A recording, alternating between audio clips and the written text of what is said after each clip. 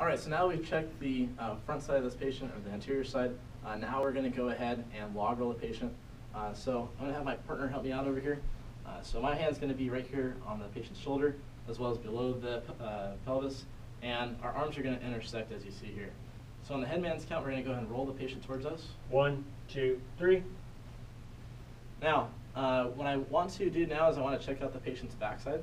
Uh, so I don't want to let go of my right arm here, uh, which is holding the patient's shoulder.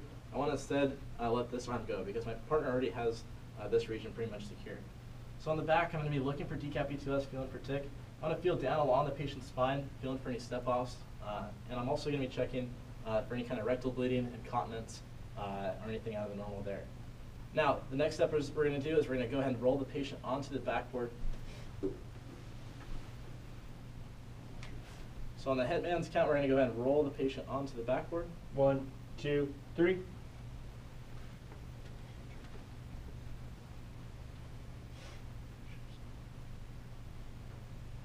I'll stick it there. All right, so we're also going to go ahead and Z-slide the patient. I'm going to have my patient, or my partner that was on backboard, go ahead and hold the backboard so it doesn't slide out of place. My partner down here, hold here at the, the waist. Make sure our hands are parallel there, right here, sir. And also right there. We're going to go ahead and slide the patient down and over towards you, Ryan, on three. And headman's count. One, two, three. And up on three. One, two, three. Excellent.